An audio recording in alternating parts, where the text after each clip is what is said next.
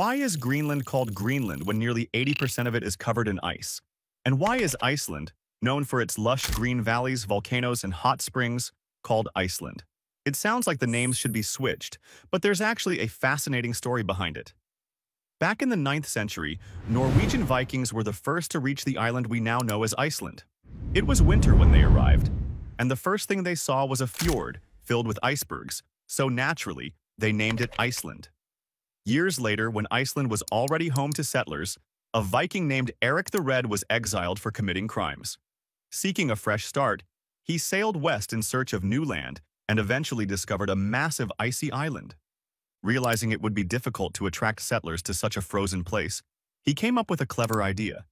He called it Greenland, the complete opposite of Iceland, hoping the pleasant name would lure people to join him.